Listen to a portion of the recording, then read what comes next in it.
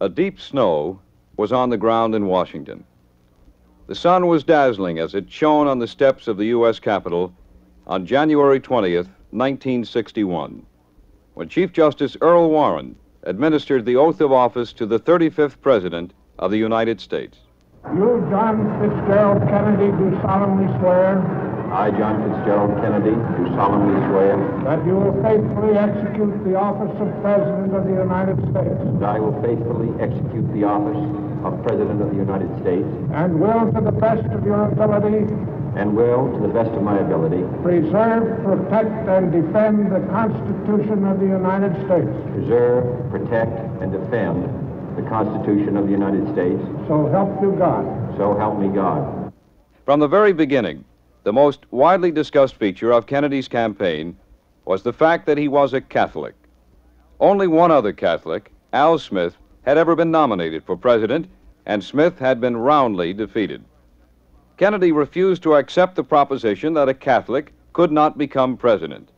And repeatedly in his campaign, he declared, I hope that no American, considering the really critical issues facing this country, will waste his franchise and throw away his vote by voting either for me or against me because of my religious affiliation. It is not relevant.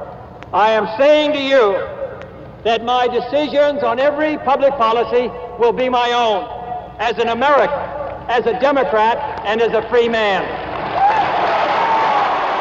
Preparing for the Democratic Convention, Kennedy entered presidential primaries in a third of all the states and was victorious in every single one. Nominated on the first ballot at Los Angeles, Kennedy's acceptance speech set the guiding theme of his national leadership. We stand today on the edge of a new frontier, the frontier of the 1960s, the frontier of unknown opportunities and perils, the frontier of unfilled hopes and unfilled threats. Woodrow Wilson's New Freedom promised our nation a new political and economic framework. Franklin Roosevelt's New Deal promised security and succor to those in need. But the new frontier of which I speak is not a set of promises. It is a set of challenges. It sums up not what I intend to offer to the American people, but what I intend to ask of them.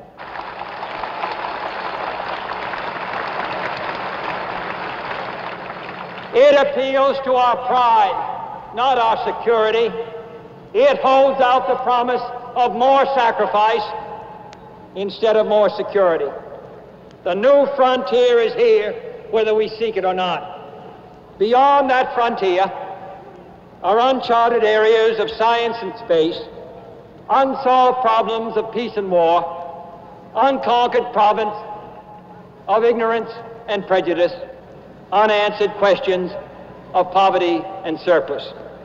It would be easier to shrink from that new frontier, to look to the safe mediocrity of the past, to be lulled by good intentions and high rhetoric, and those who prefer that course should not vote for me or the Democratic Party.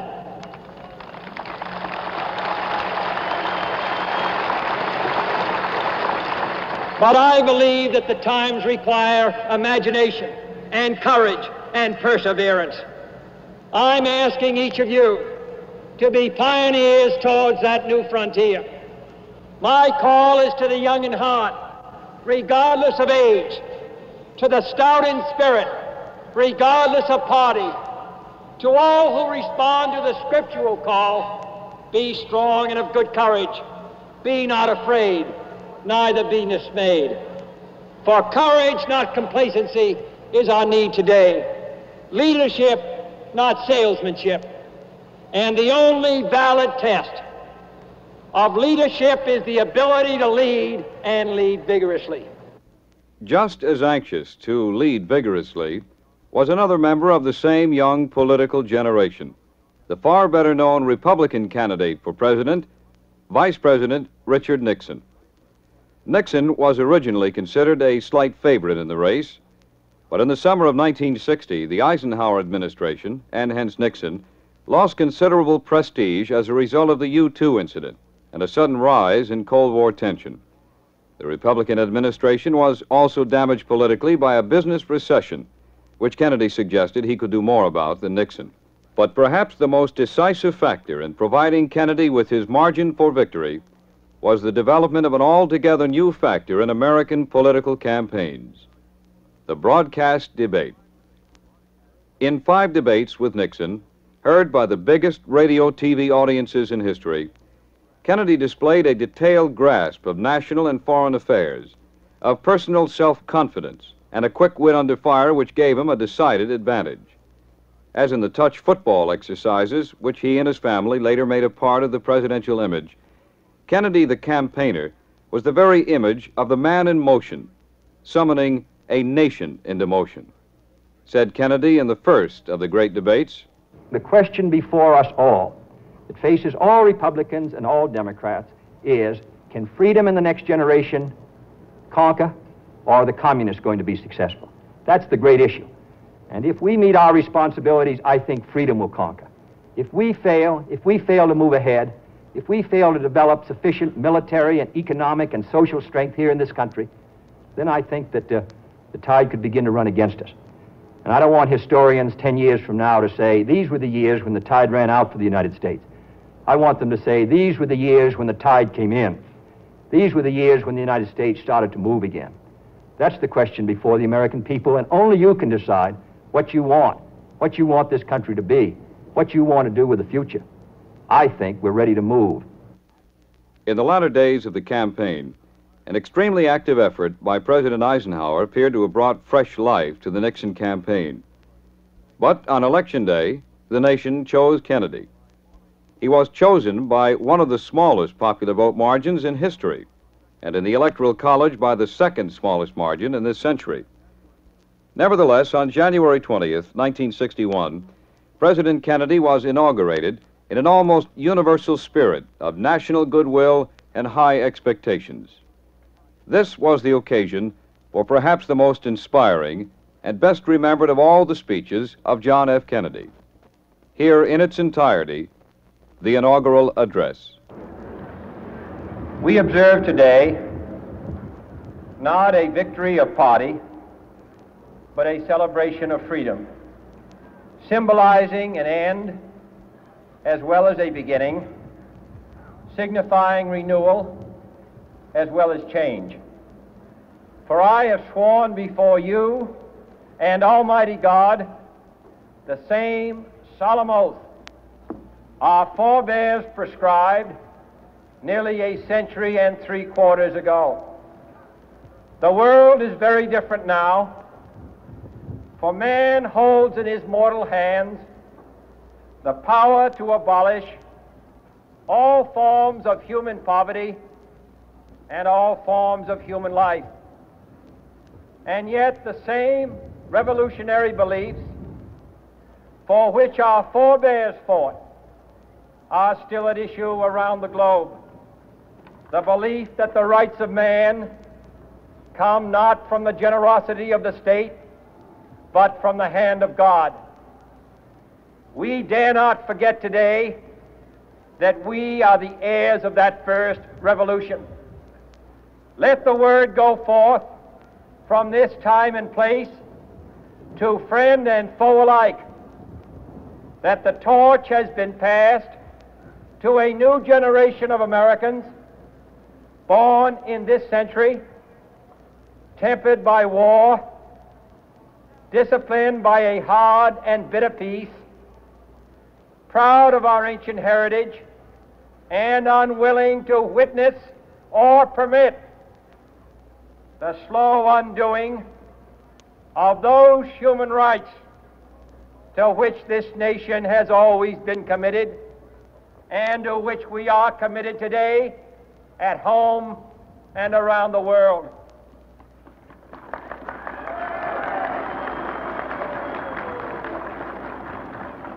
Let every nation know, whether it wishes us well or ill, that we shall pay any price, bear any burden, meet any hardship, support any friend, oppose any foe to assure the survival and the success of liberty.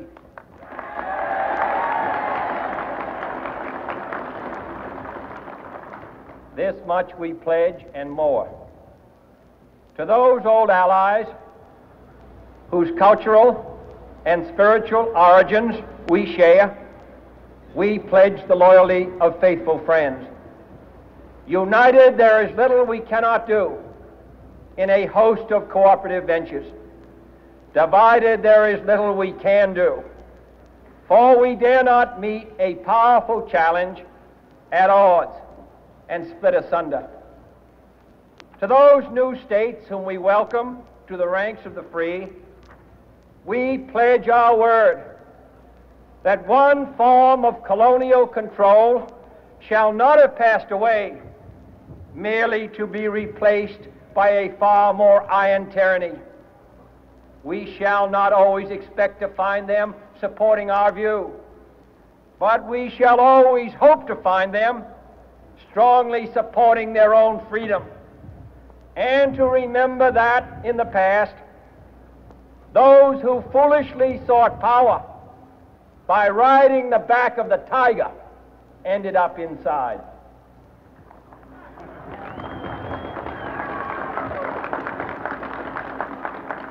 to those people in the huts and villages of half the globe struggling to break the bonds of mass misery, we pledge our best efforts to help them help themselves for whatever period is required, not because the communists may be doing it, not because we seek their votes, but because it is right.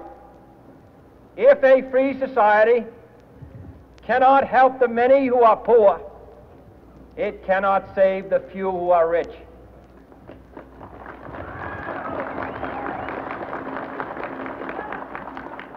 To our sister republics south of our border, we offer a special pledge to convert our good words into good deeds. In a new alliance for progress, to assist free men and free governments in casting off the chains of poverty. But this peaceful revolution of hope cannot become the prey of hostile powers. Let all our neighbors know that we shall join with them to oppose aggression or subversion anywhere in the Americas. And let every other power know that this hemisphere intends to remain the master of its own house.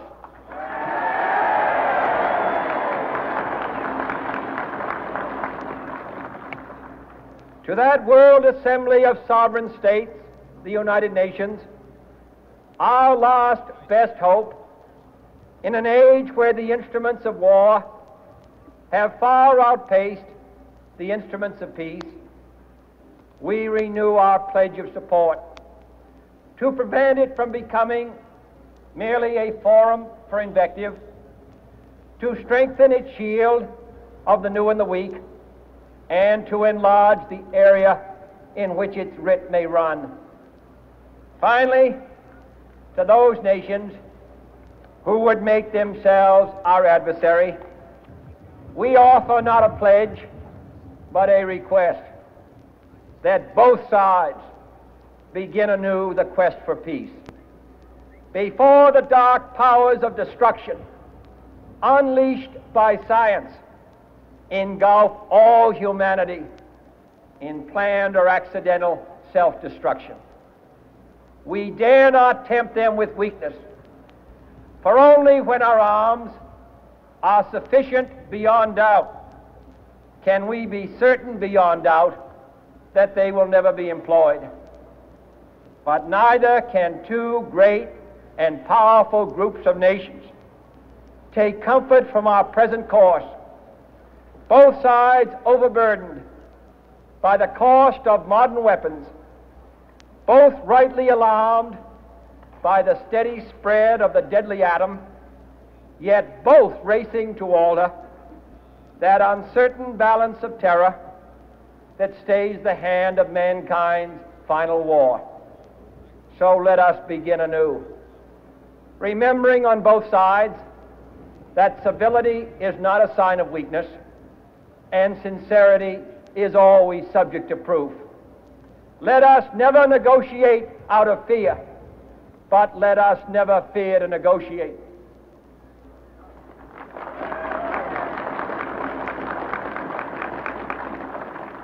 Let both sides explore what problems unite us instead of belaboring those problems which divide us.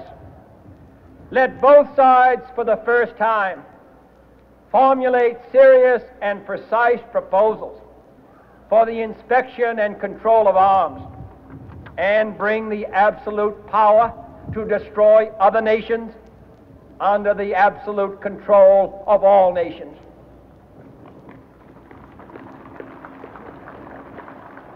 Let both sides seek to invoke the wonders of science instead of its terrors.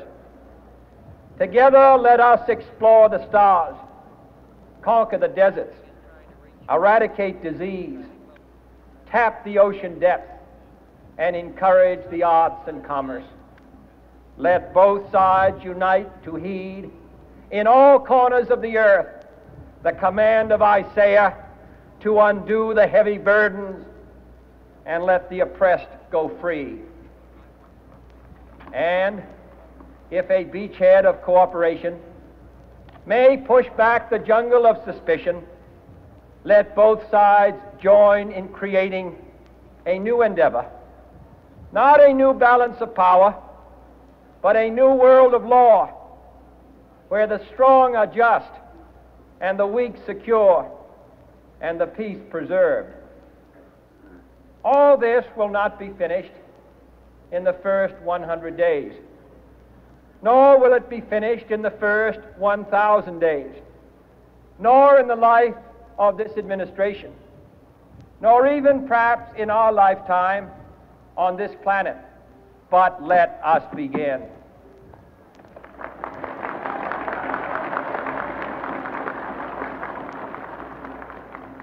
In your hands, my fellow citizens, more than mine, will rest the final success or failure of our course.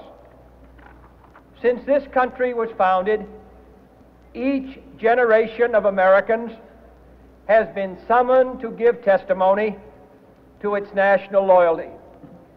The graves of young Americans who answered the call to service surround the globe.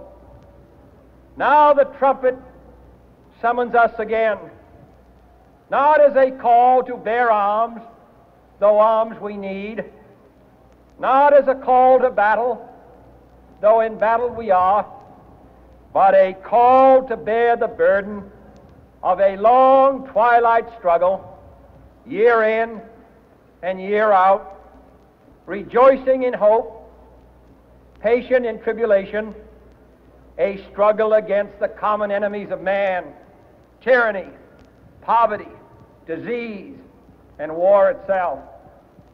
Can we forge against these enemies a grand and global alliance, north and south, east and west, that can assure a more fruitful life for all mankind? Will you join in that historic effort?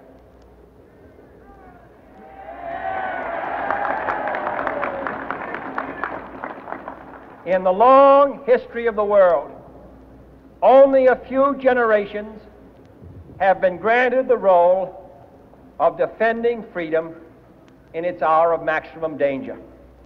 I do not shrink from this responsibility. I welcome it.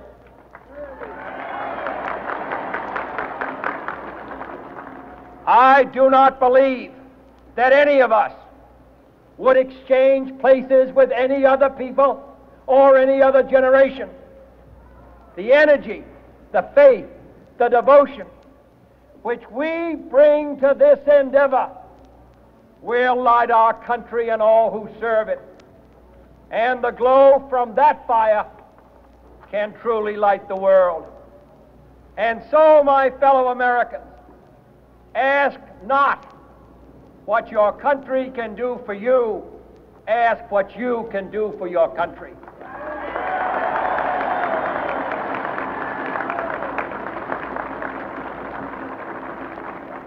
My fellow citizens of the world, ask not what America will do for you, but what together we can do for the freedom of man.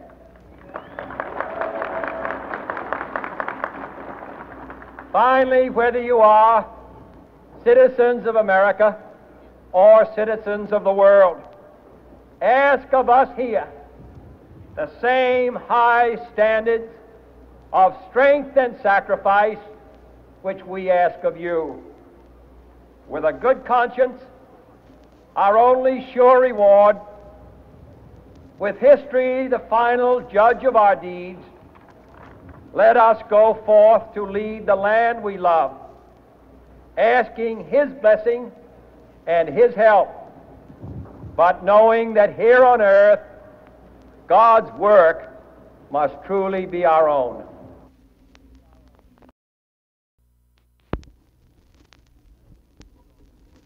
As he assumed office in 1961, John F. Kennedy made it clear that he hoped to arouse the kind of enthusiasm for fresh and dynamic national innovations which had characterized the famous first hundred days of Franklin D. Roosevelt's New Deal. An able, young, and imaginative administrative team arrived in Washington with their able, young, and imaginative president. All came with a great variety of new ideas. But from the very beginning, the domestic concerns of the nation were thrust in the background as the new administration was forced to meet an almost endless succession of fresh emergencies abroad.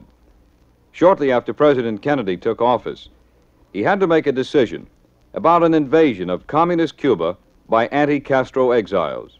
The invasion had been under preparation since before he became president. The puzzle of Kennedy's decision and his execution of it will be discussed by historians for years to come. The vital question, after deciding to go ahead at all, was whether to give the mere battalion of exiles active support by the air and naval forces of the United States itself. Kennedy elected not to permit U.S. air or naval support. The invasion, whatever might have been its fate otherwise, was thereby doomed. If Cuba, in the first year of the Kennedy administration, represented a country already committed in the most frustrating way to communism, other countries, still free throughout the world, were facing heavy communist pressure. Crises in Laos and Vietnam, in the Congo, and in the narrow waters dividing Red China from the nationalist stronghold on Formosa continually engaged Kennedy's attention and required his continual vigilance and ingenuity. But throughout his administration, the most hazardous emergencies repeatedly arose in West Berlin. Confronted in the summer of 1961 with a Russian ultimatum to evacuate Western troops, Kennedy flatly refused. In a major address to the nation, he called for a great strengthening of the nation's conventional armed forces in Europe and elsewhere. Said the President, We face a challenge in Berlin but there is also a challenge in Southeast Asia, where the borders are less guarded, the enemy harder to find, and the dangers of communism less apparent to those who have so little. I hear it said that West Berlin is militarily untenable, and so was Bastogne, and so in fact was Stalingrad. Any dangerous spot is tenable if men, brave men, will make it so. We seek peace, but we shall not surrender. Three times in my lifetime, our country and Europe have been involved in major wars. In each case, serious misjudgments were made on both sides of the intentions of others, which brought about great devastation. Now, in the thermonuclear age, any misjudgment on either side about the intentions of the other could rain more devastation in several hours than has been wrought in all the wars of human history. I know that sometimes we get impatient. We wish for some immediate action that would end our perils. But I must tell you that there is no quick and easy solution. The communists control over a billion people, and they recognize that if we should falter, their success would be imminent. We must look to long days ahead, which, if we are courageous and persevering, can bring us what we all desire. In meeting my responsibilities in these coming months as president, I need your goodwill and your support, and above all, your prayers.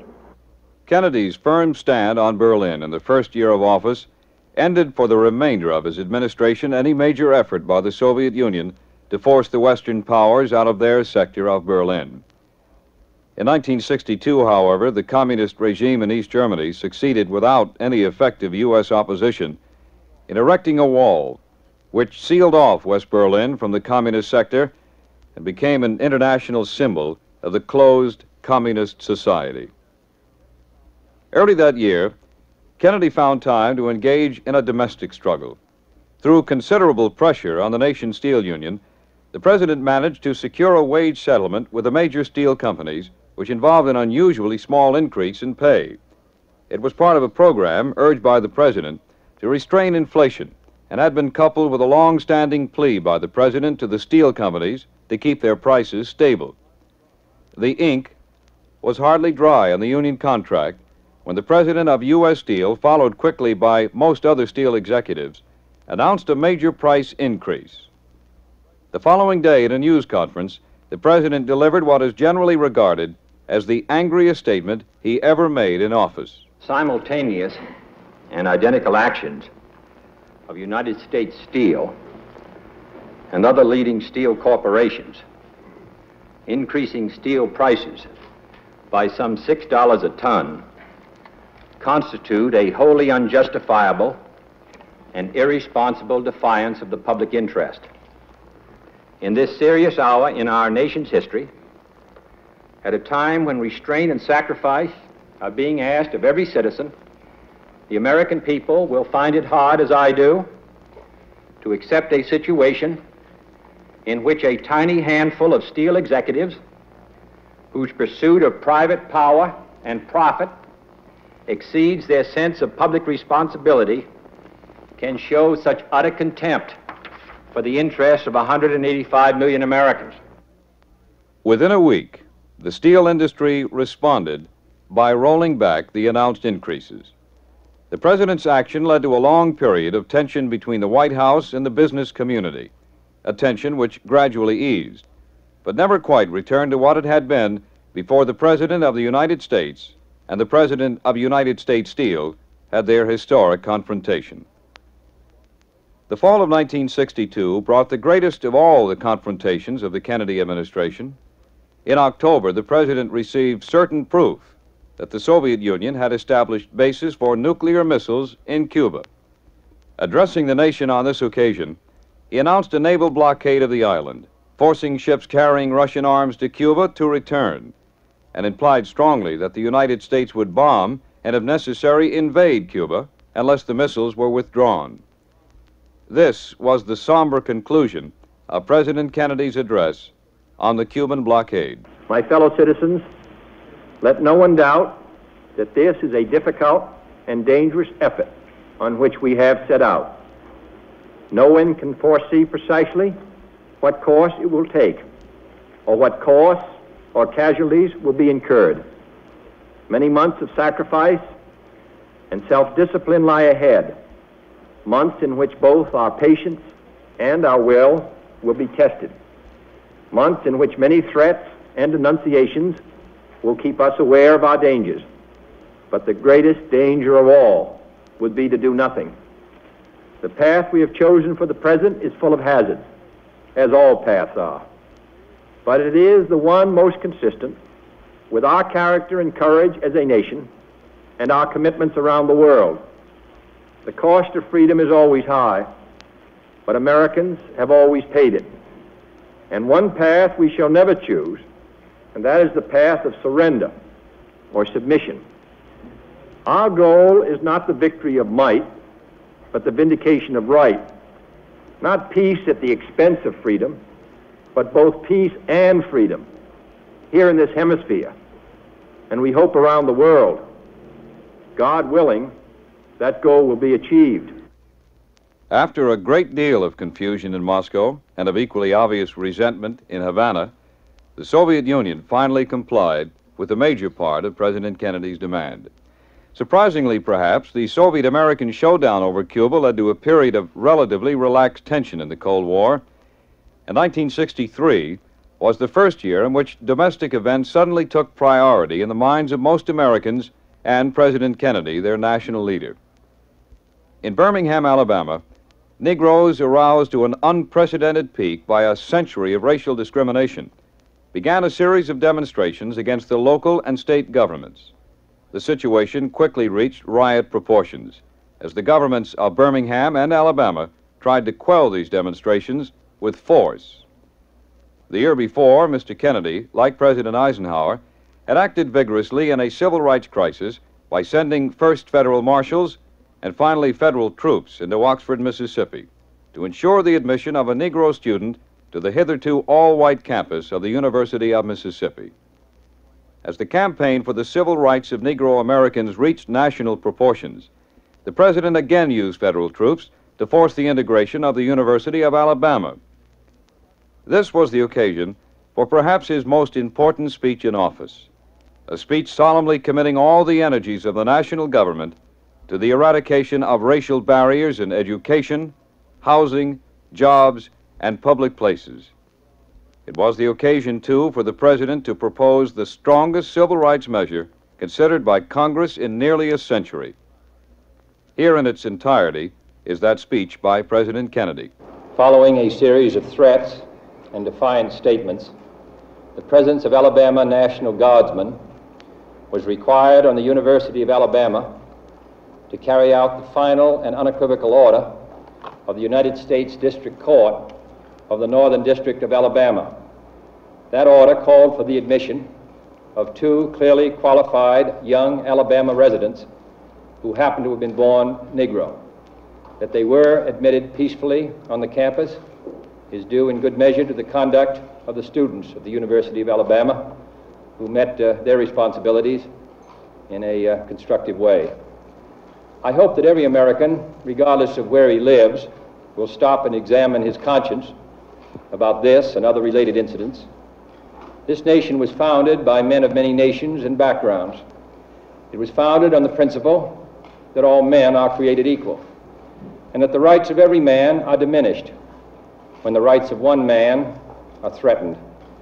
Today we are committed to a worldwide struggle to promote and protect the rights of all who wish to be free.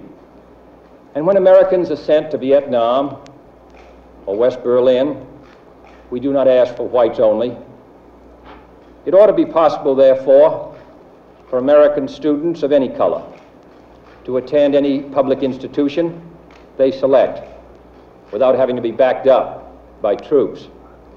It ought to be possible for American consumers of any color to receive equal service in places of public accommodation, such as hotels and restaurants and theaters and retail stores, without being forced to resort to demonstrations in the street.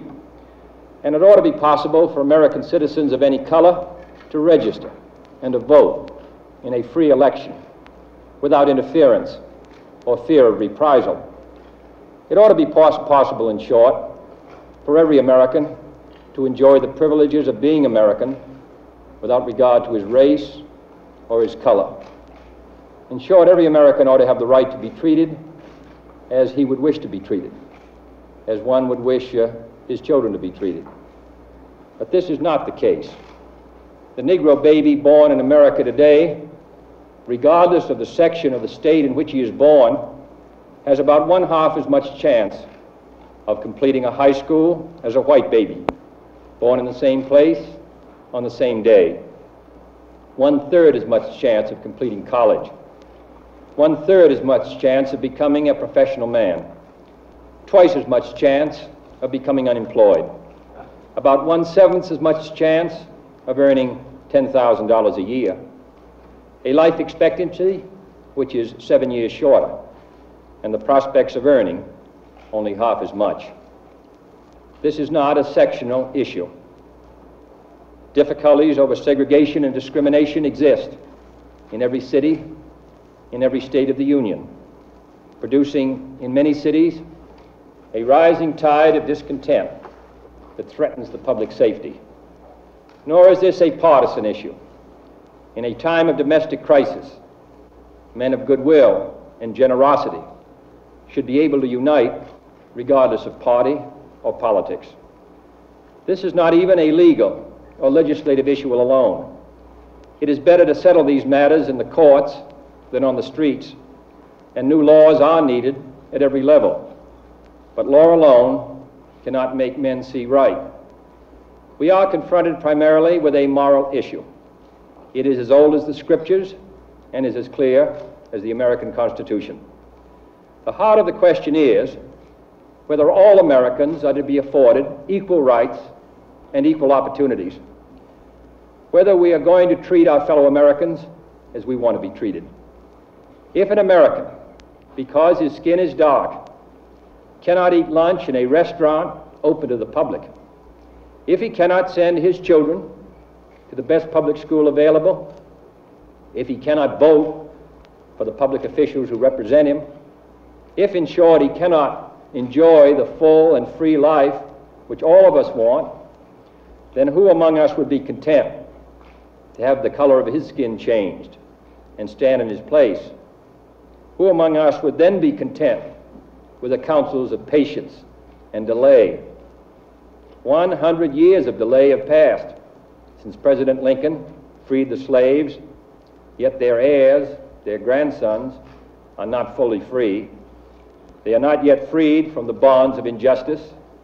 They are not yet, not yet freed from social and economic oppression. And this nation, for all its hopes and all its boasts, will not be fully free until all its citizens are free. We preach freedom around the world, and we mean it. And we cherish our freedom here at home.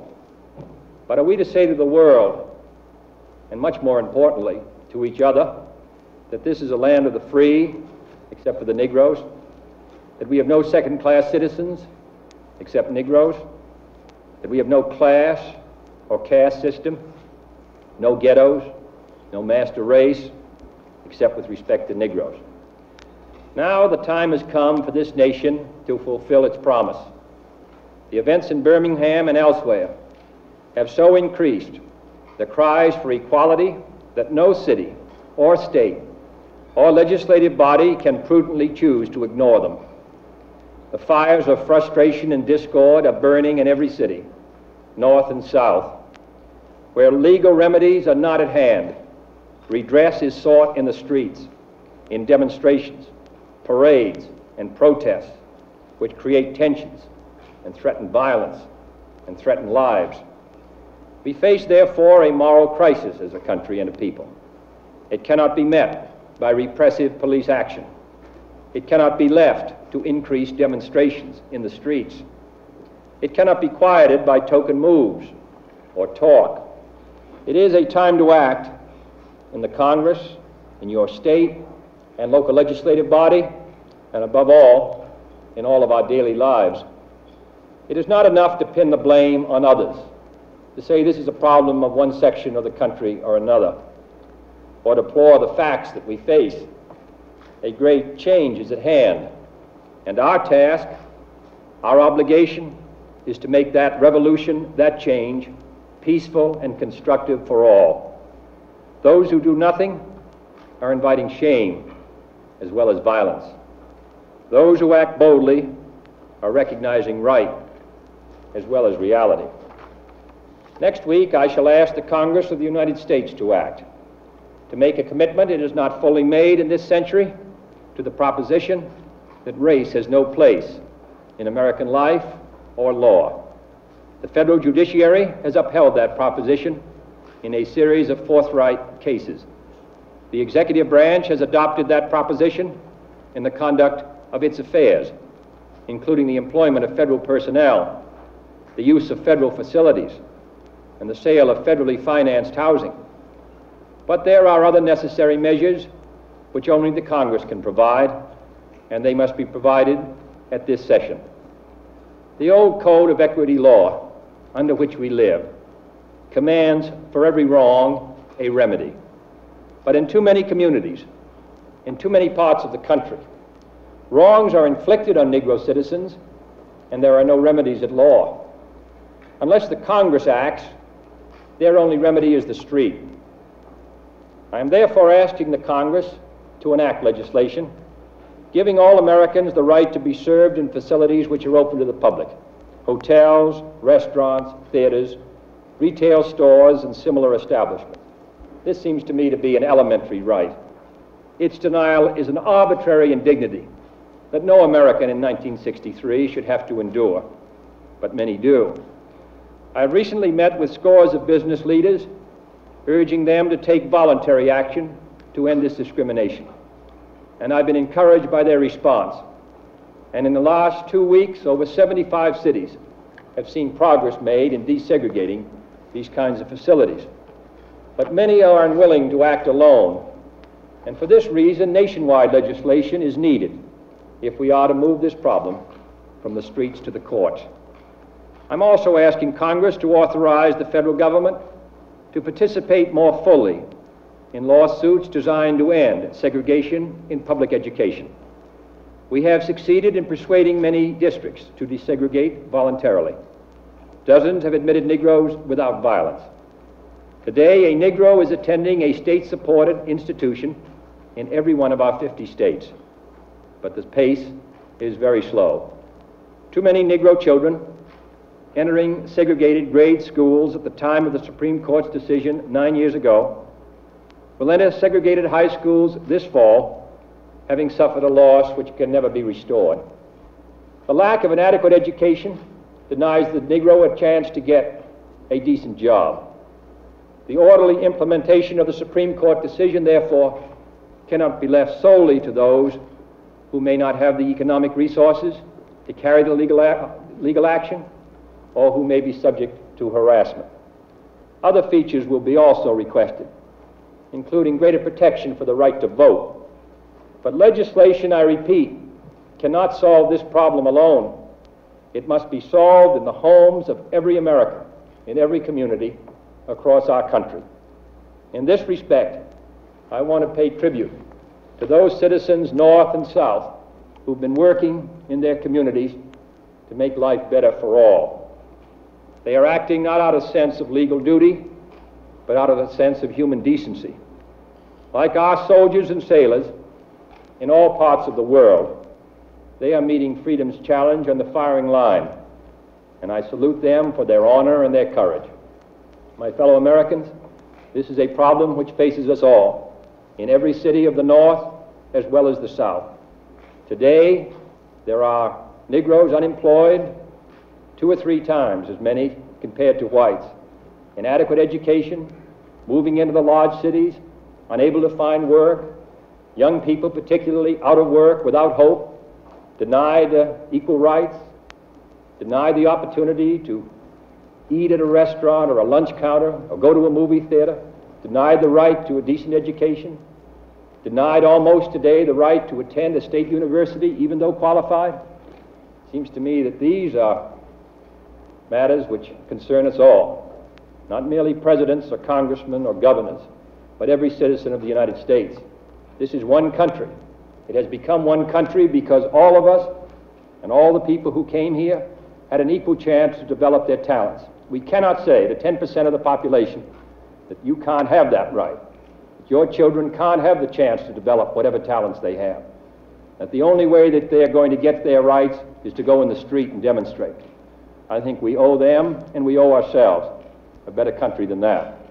Therefore, I'm asking for your help in making it easier for us to move ahead and to provide the kind of equality of treatment which we would want ourselves. To give a chance for every child to be educated to the limit of his talents. As I've said before, not every child has an equal talent or an equal ability or equal motivation, but they should have the equal right to develop their talent and their ability and their motivation to make something of themselves. We have a right to expect that the Negro community will be responsible will uphold the law, but they have a right to expect that the law will be fair, that the Constitution will be colorblind, as Justice Harlan said at the turn of the century. This is what we're talking about, and this is a matter which concerns this country and what it stands for. And in meeting it, I ask the support of all of our citizens. As the Kennedy administration was drawing so unwittingly to its close in the early fall of 1963, the civil rights crisis remained unresolved. But surprisingly, it was in the Cold War that the last days of President Kennedy brought one of the most memorable achievements a treaty signed by the Soviet Union and most of the nations of the world to end the testing of nuclear weapons in the atmosphere. By this time, both countries, of course, had more than enough such weapons to annihilate each other. But the reduction of nuclear pollution of the atmosphere and the symbol which the treaty represented of future pathways to peace made the address of President Kennedy on this occasion a message of hope. Now, for the first time in many years, the path of peace may be open. No one can be certain what the future will bring. No one can say whether the time has come for an easing of the struggle. But history and our own conscience will judge us harshly if we do not now make every effort to test our hopes by action. And this is the place to begin. According to the ancient Chinese proverb, a journey of a thousand miles must begin with a single step. My fellow Americans, let us take that first step. Let us, if we can, step back from the shadows of war and seek out the way of peace. And if that journey is a thousand miles or even more, let history record that we in this land at this time took the first step. Let us take the first step. Perhaps the most fitting epitaph for an administration and a president which imagined and planned far more new departures in American life and national policy than they would ever have the opportunity to undertake. And of those in which the first step was in fact taken, the first step towards nuclear disarmament, the first great steps toward genuine equality of all Americans in our national life, the first steps along so many broad avenues of this nation's destiny, the second, the third, and the final steps would have to be left to other leaders and to the American people themselves. For on November 22, 1963, John F. Kennedy was shot to death in Dallas, Texas, by an assassin whose motives may forever remain uncertain.